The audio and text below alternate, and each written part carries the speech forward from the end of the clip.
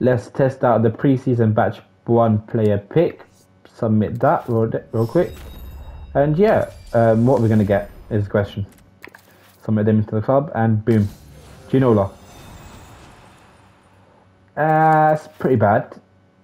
But hey, good for I guess. Good for.